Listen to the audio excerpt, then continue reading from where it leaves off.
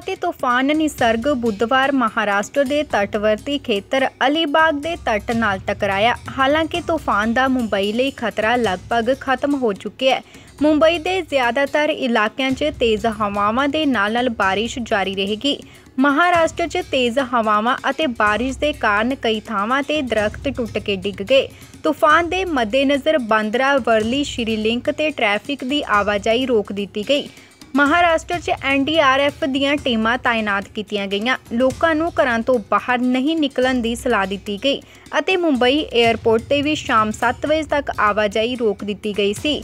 ਦੂਜੇ ਪਾਸੇ ਚੱਕਰਵਾਤੀ ਤੂਫਾਨ ਦੇ ਚਲਦੇ ਗੁਜਰਾਤ ਦੇ ਦੱਖਣੀ ਤੱਟ 'ਚ ਹਾਲੇ ਤੱਕ ਕਿਸੇ ਅਣਸੁਖਾਵੀ ਘਟਨਾ ਦੀ ਸੂਚਨਾ ਨਹੀਂ ਹੈ। ਸਾਵਧਾਨੀ ਦੇ ਉਪਾਅ ਦੇ ਤੌਰ ਤੇ ਹਾਲੇ ਤੱਕ 8 ਜ਼ਿਲ੍ਹਿਆਂ 'ਚ ਤੱਟ ਦੇ ਕੋਲ ਰਹਿਣ ਵਾਲੇ 63700 ਤੋਂ ਜ਼ਿਆਦਾ ਲੋਕਾਂ ਨੂੰ ਸੁਰੱਖਿਅਤ ਸਥਾਨਾਂ ਤੇ ਪਹੁੰਚਾਇਆ ਜਾ ਚੁੱਕਿਆ ਹੈ। ਵਲਸਾੜ ਅਤੇ ਨਵਸਾਰੀ 'ਚ ਬਾਰਿਸ਼ ਹੋਈ, ਪਰ ਹਾਲਾਤ ਕਾਬੂ ਨੇ।